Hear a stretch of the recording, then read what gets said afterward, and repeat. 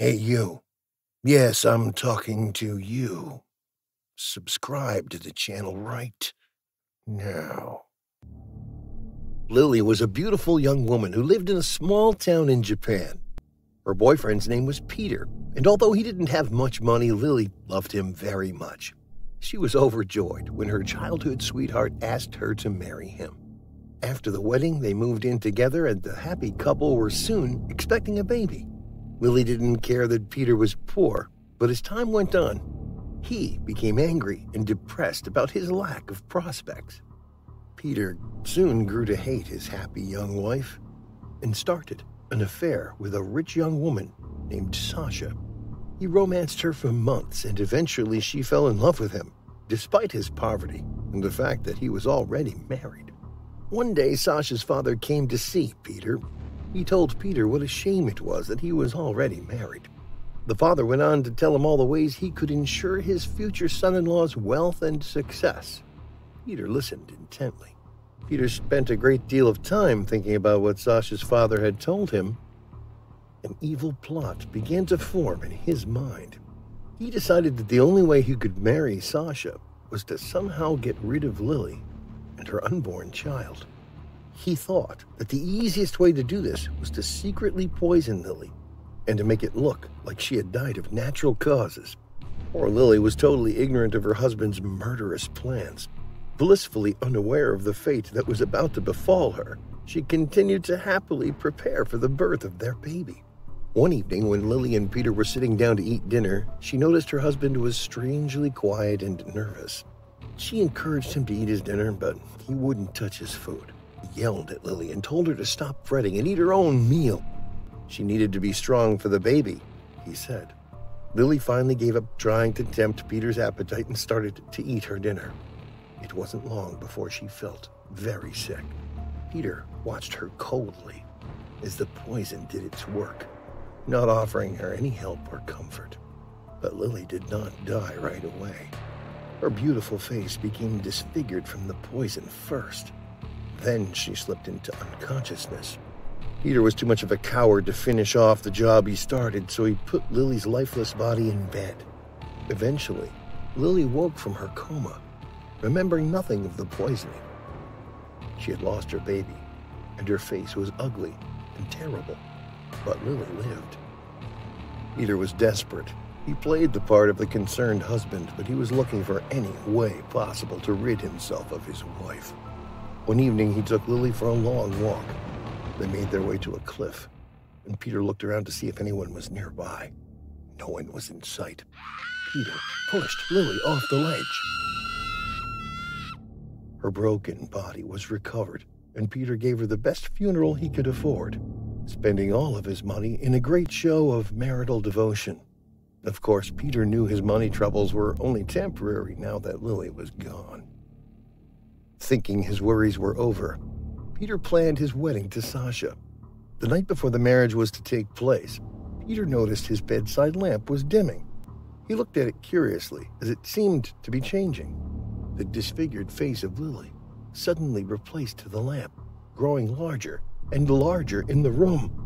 Betrayal, it hissed. Peter grabbed a stick and swung at the face, but Lily disappeared and the lamp smashed and fell to the floor. Peter thought he heard the faint laughter of a woman from outside. Shaken, Peter convinced himself that the vision was simply the result of drinking too much alcohol earlier in the evening and he went to bed.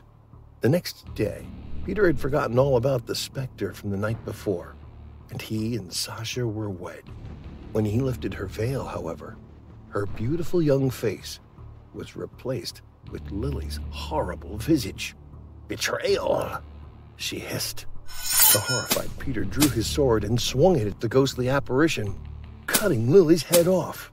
The severed head rolled down the aisle of the church, but when it came to a stop, it hit Sasha's face and not Lily's. He heard the faint sound of laughter again. Peter ran to his tiny house looking for a place to hide. There was a pounding at the door. Sasha's father demanded that he open it. But when Peter did so, Lily was standing there. Betrayal, she hissed. Once again, Peter tried to decapitate her, but when his sword finished its work, it was Sasha's father that lay dead. Peter ran for the cliffs, Lily's laughter following him. He stopped at the edge and looked down, perhaps changing his mind. It didn't matter. Passers-by reported seeing the woman push Peter off the cliff before she jumped after him, laughing.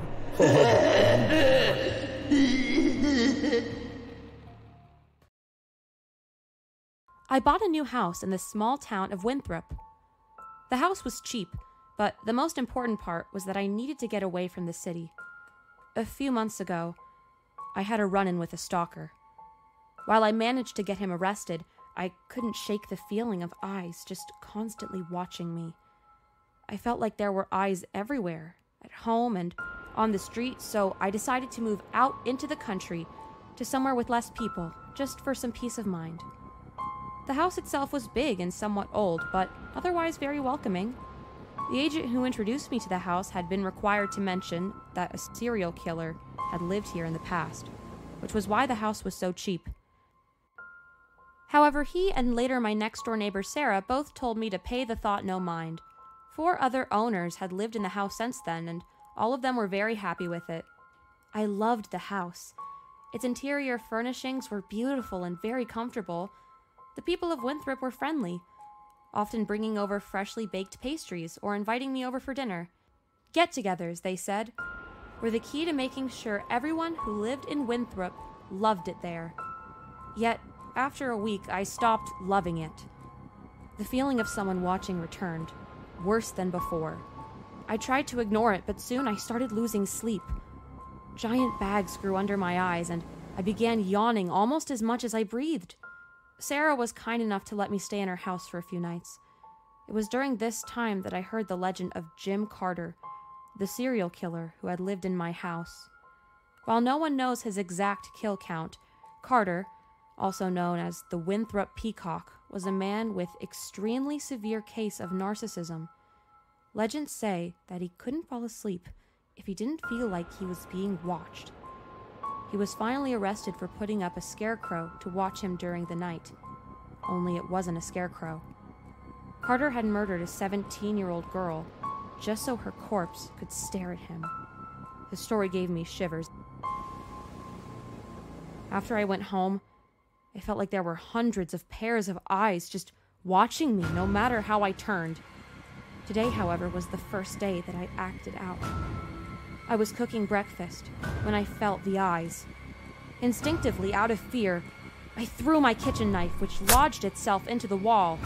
As I pulled it out, I found myself staring at a pair of eyes, pickling in formaldehyde. I called the police, and they were home in no time. I showed them the pair of eyes. Their team started scraping off the wallpaper and break the first layer of the wall. It's been hours now. I've been watching the police peel away the drywall of my house. So far, they've found 142 pairs of eyes in little glass jars. The scariest thing is, each and every one was staring at me. Subscribe to the channel and enjoy more videos.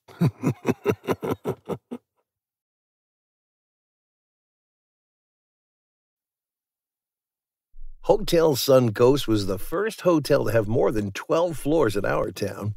It had 13 floors. The building owners had arranged a huge Halloween themed party to celebrate its opening. It was a small town, and most all of the people in the town were invited. Each floor was set up like a maze, decorated with cobwebs and other Halloween decorations. There were lots of people dressed up as ghosts and ghouls to frighten the guests. The building owners had also arranged a contest to make the party fun and exciting. An expensive prize was hidden on the top floor of the building, and the first person to reach the prize would win it. Jack and Sophia were two of the guests. They worked their way easily through the mazes on the first few floors. As they headed up through the building, the hallways on each floor got darker and scarier. But they knew it was all orchestrated to scare the guests, and they didn't want to give up on the prize. When they got to the 12th floor, Jack and Sophia heard a blood-curdling scream. As they made their way through the maze, they heard more screams and cries for help. Nice sound effects, said Jack. They sound so real. Sophia giggled. Finally, in the lobby by the elevators, they saw blood dripping from the ceiling. Look, what a realistic arrangement. I'm sure that's tomato ketchup dripping from up there. The elevator dinged, and the doors slowly opened, which was strange because every other time they used the elevator, the doors had been quick and smooth. The light in the elevator was flickering as they stepped in, and as the doors began to close, the lights went out completely. Screams so loud that the entire building could hear them began to ring out. At first, the guests at the party thought it was all part of the scary Halloween theme. But then, the owners of the building turned on all the lights of the building and asked everyone to return to the lobby at the reception. They made announcements on the mic, and all the guests on all the floors could hear it. Everyone tried to rush towards the elevator thinking there must be an emergency. But when people tried to use the elevator, it never came. The bell would ding, but the doors wouldn't open, and they were all forced to use the stairs. Down in the lobby at the reception, the building owners explained they had not played the sounds of the screams. It came as a shock to them and hence had to pause the contest. Their staff was on a check to see where the sounds had come from. Meanwhile, they did a check of everyone who had come to the party, and they realized Jack and Sophia had not returned. Just then, the doors to the elevator opened. It was empty except for Jack's watch, one of Sophia's shoes, and a pool of blood. Jack and Sophia were never seen again, and the building owners removed the elevator button for the 13th floor so nobody would disappear there again. My name is Gordon, and I'm 26 years old. I work in an office in the city on the weekends. I used to love to get away from all the hustle and bustle and take a trip to the countryside. Luckily, I have a cottage in a small village which is located right at the edge of the forest. How I used to love to get out of the city and spend the weekend in my little cottage. Why did I stop? Well, I'll tell you. One day after a hard week at work, I needed some rest. So I decided to get out of town. I went home, packed my bags, threw them in the trunk, and drove off. When I arrived in the village, it was late in the evening and I was tired from the long drive. I went straight to bed and I fell asleep quickly. One day, in the middle of the night, I was awakened by the sound of my car alarm going off. I looked out the window, but there was nobody in sight. I found my car keys, pressed the button to shut off the alarm. When the awful noise stopped, I laid down again and tried to fall back to sleep. All of a sudden, the alarm went off again. I didn't feel like getting up, so I just grabbed my keys and pressed the button again. Everything was peaceful and quiet. Five minutes later, the alarm went off for a third time. Once or twice could have been an accident, but now I was wondering what was going on. Could someone be playing tricks on me in the middle of the night? I got up again and pressed the button to turn off the alarm, but this time I didn't lay down. I stood at the window, behind the curtains, and watched. After a few minutes, I saw something by the light of the moon. A shadow emerged from the bushes and slowly approached the car. I could just about make out the shape. It was something tall, skinny, and black. The figure reached out with its long, thin arms and knocked on the car. The alarm went off again, and quick as a flash, the dark figure retreated back into the bushes. At that moment, I realized what was going on and began shaking with fear. I turned off the alarm and continued to watch. The thing emerged from the bushes again and slid silently over to the gate, threw a hand through them, and removed the partition holding the gates closed. I was paralyzed with fear and I couldn't move. My mind was overcome by panicked thoughts. What was it? What did it want from me? What was it doing? Would it ever go away? A shiver ran through my body from my head down to my toes. My mouth was dry and my heart was beating fast. I was so tense, I was gritting my teeth and clenching my hands into fists. I got control of myself and ran down the stairs as fast as my legs would carry me to the ground floor. I wanted to look for something I could use to protect myself. However, just as I was about to switch on the lights, I suddenly froze in my tracks. The dark figure was at the window. It was pressed up against the glass, staring in, looking to see whether or not there was someone home. I immediately ducked down behind the sofa and peered out. That's when I realized what all these tricks with the car were for. It was trying to lure its victim outside.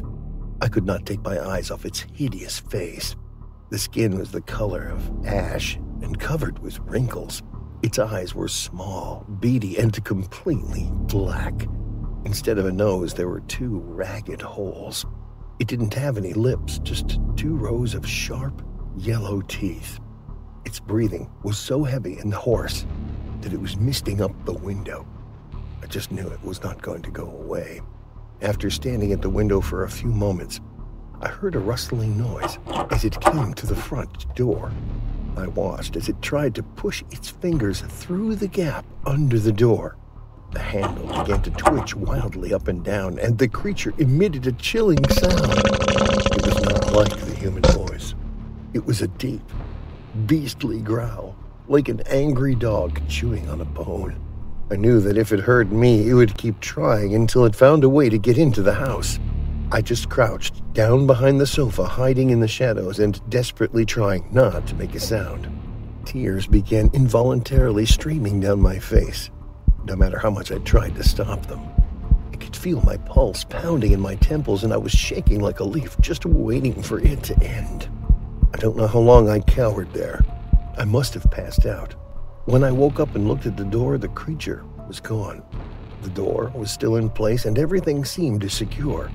I have never been so relieved in all my life. I ran upstairs and looked out the window. It was light outside and there was no sign of anything wrong. Taking a chance, I grabbed my keys and without stopping to collect any of my things, I ran out towards the car. I jumped in the car, locked all the doors, and drove away from the village as fast as I could. I didn't stop driving until I got back to the city. When I got back to my apartment, I turned on the radio and heard a news report. The announcer said that in the village, the dead bodies of two girls had been discovered. Their corpses had been mutilated and dumped in a swamp. I guess the creature found what it was looking for.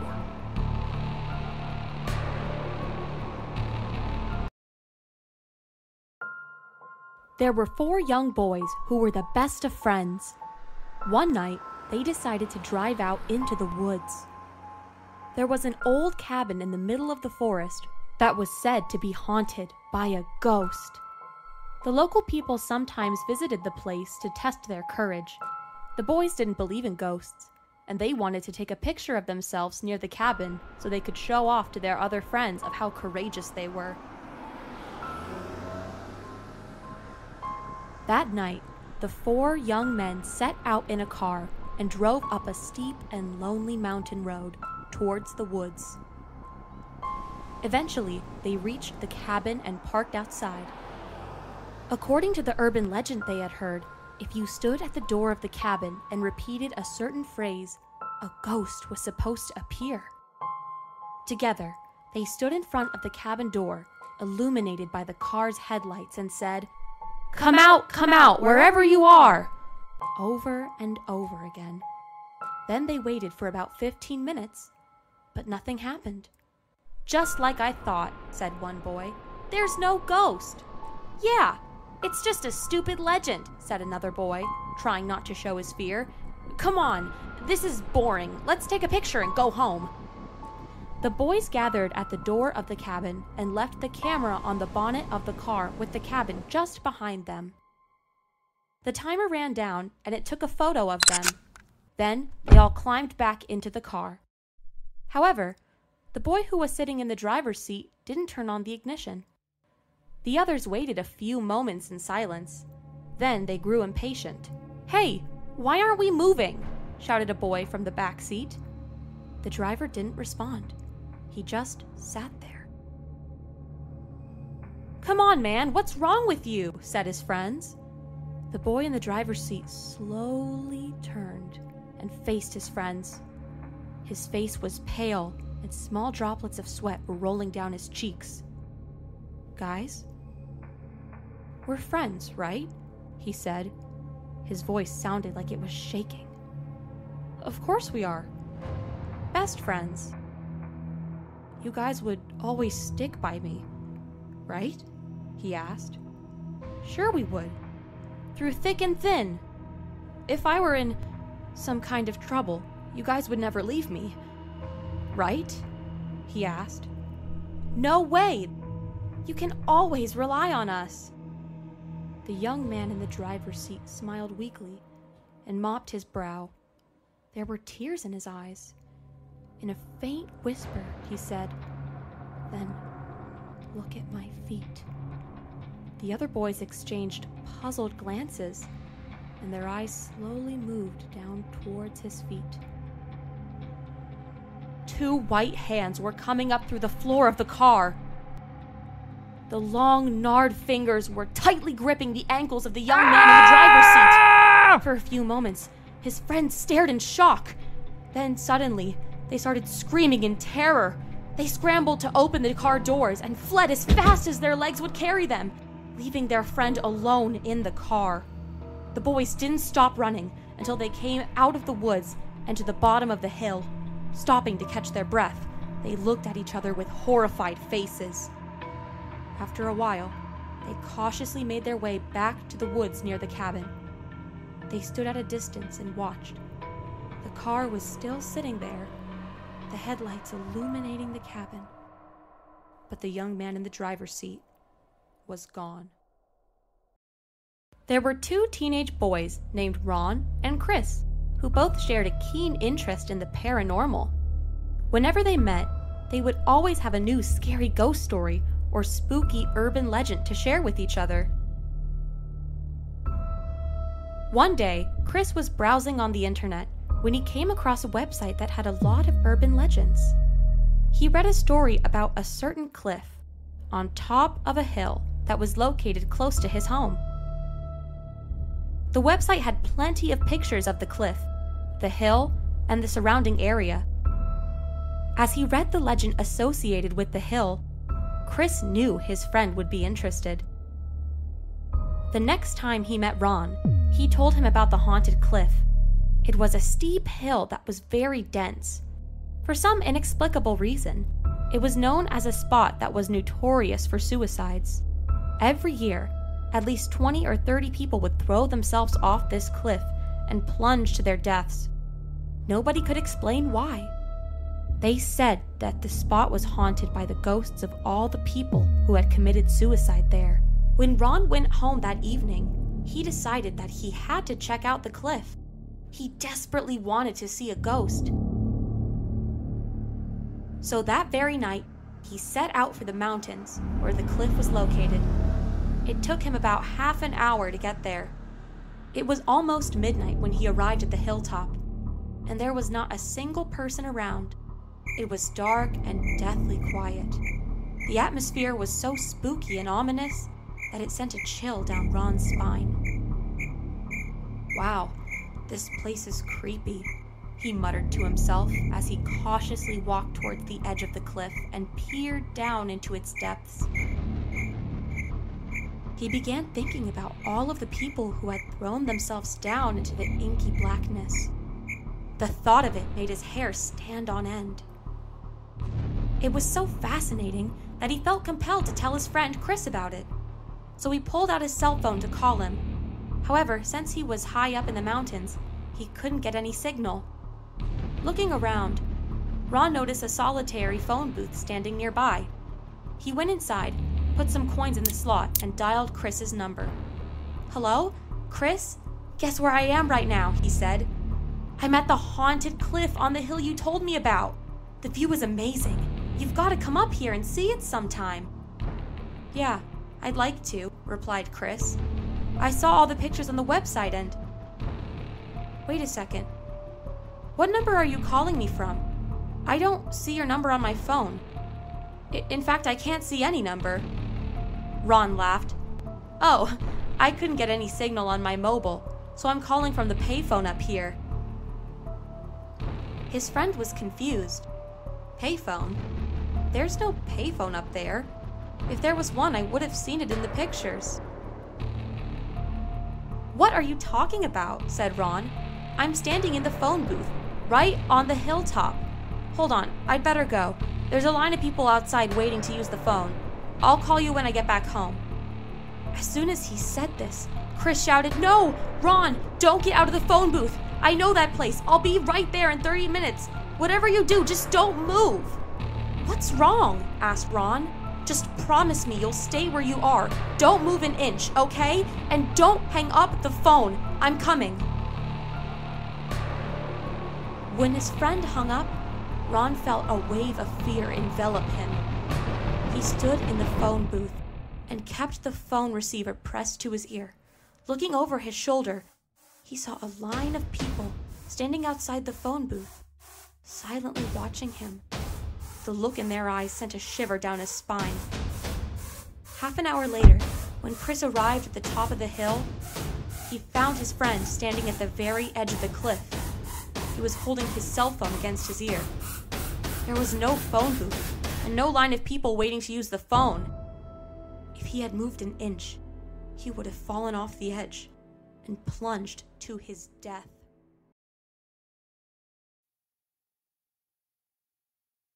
Daniel and Jessica were happily married for five years now, and they have a beautiful three year old daughter, Stephanie.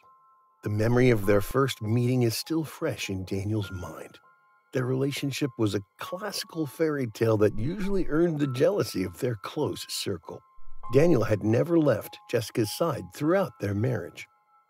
This was the first time Daniel had been separated from his wife for more than a week. As a newly promoted marketing executive, it became part of Daniel's job to entertain customers from all parts of the world. His first assignment was in Hungary, and he had to leave his wife for the first time in five years. The goodbye was long and hard, and Daniel had no heart to leave his wife and daughter.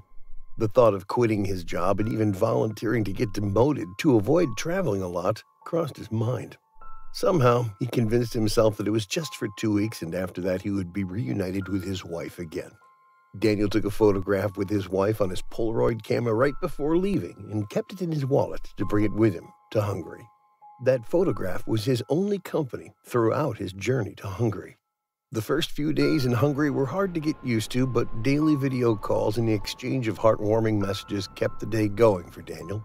Every night ended with Daniel closing his eyes while looking at the photograph he took with Jessica right before leaving. It was almost a week since their separation when things started to go wrong. The night before, Daniel had had a meeting with his client in a bar and he went unusually heavy on his drinks to impress his client. They shared such a good rapport and the deal concluded smoothly. But the quantity of drinks that Daniel had was way beyond his threshold. It was surprising to him that he made it back to his hotel room in one piece that night. And that night he didn't manage to look at his photograph before sleeping, as his eyelids were too heavy. The next morning started with a bit of a hangover. He tried to brush off the headache and looked for his photograph. There was some other lady posing with him instead of his wife in the photograph. He brushed his eyes harder and looked at the photograph again without squinting. He could not believe his eyes. It wasn't Jessica in the picture. It was definitely the same photograph. He could even see his daughter running towards them in the background as she tried to squeeze in with them for the photograph. But the lady in the picture beside him definitely wasn't Jessica. He immediately picked up his phone and dialed Jessica. Honey, something is seriously wrong with me. I think I'm losing my mind, shrieked Daniel over the phone to his wife. His heart was pounding so fast that he felt as though it would just fall out of his chest. He was shivering and sweating profusely. His hand was trembling while holding his mobile phone. Calm down, Danny. What's wrong? Jessica asked. I don't know, Jesse. Something is wrong with my eyes. Or, or something could be wrong with my brain. Daniel's panic was apparent in his voice. Baby, please pull yourself together and tell me what is going on, Jessica begged. I don't know if it was something I ate last night. I think I'm hallucinating. Danny, you are making me worried. Are you all right? Jessica was starting to panic. Honey, please tell me what is going on. I'm freaking out here, Jessica yelled. The photograph that we took has changed. You're not in it anymore, Daniel revealed. What are you blabbering, Danny? I swear it was all right until yesterday. But today, something is wrong. Some other lady is there instead of you. I know I must be sounding like a madman now. Baby, what did you have last night? You said you might have had something. I just had a couple of drinks with a client. I may have gone overboard with the drinks, but I thought I could sleep it off. I, I, never thought I would go mad. Danny, I'm worried. Can you please just come back? Like right now. Jessica's worry came out like an order. That sounded like the exact thing Daniel should be doing right now. He put down the phone and booked the next available flight back home. Throughout his journey back, Daniel kept staring at the photograph, hoping he could gain his sanity back. But he realized the strange woman looked even older as time passed by. It was almost sunrise when Daniel arrived home. He rushed in through the front door to fall in the arms of his wife, who he assumed would be waiting for his arrival and hoping to wake up from this nightmare. Unfortunately, Jessica was in the bathroom taking a shower. Honey, I'm home, Daniel announced. Baby, you are back. Give me a minute. I'll be out. I have made your favorite morning tea. It's on the table. Have a sip and I'll join you in a jiffy, said Jessica from the bathroom. Daniel's favorite tea was waiting for him on the table. He felt like he was home when he took the first sip. He missed it so much. He missed her so much. Daniel's heart skipped a beat when he saw Jessica walking towards him to welcome him, the same way he felt five years ago when he first saw her. His love for her has not faded one bit. There she was, looking exactly the same as she always did, as vibrant as usual. He rushed and hugged her tightly. Baby, I was worried about you. Is everything all right? Jessica whispered in Daniel's ears. Look at this, honey. Daniel immediately took out his wallet and showed Jessica the photograph. Well, I don't see anything wrong, baby. Jessica looked puzzled. Daniel was shocked to realize that Jessica was posing beside him, exactly how it was when the photograph was taken. The strange lady was gone. I swear, honey, an old lady was there in your place. I swear. Daniel could not believe his eyes. He had definitely gone crazy. It's okay, baby. Maybe you were just too tired and missed me so much. Jessica gave Daniel a comforting hug. Daniel was extremely mystified. While Jessica looked at her reflection in the mirror nearby and let out a sinister smile. There, in the mirror, was the face of the same old lady that Daniel saw in the photograph while on his business trip. She had been doing it successfully for the past five years. A two-week business trip was not going to meddle with her master plan. You want to finish your tea before taking some rest, baby? You must be done. Jessica handed Daniel her special tea.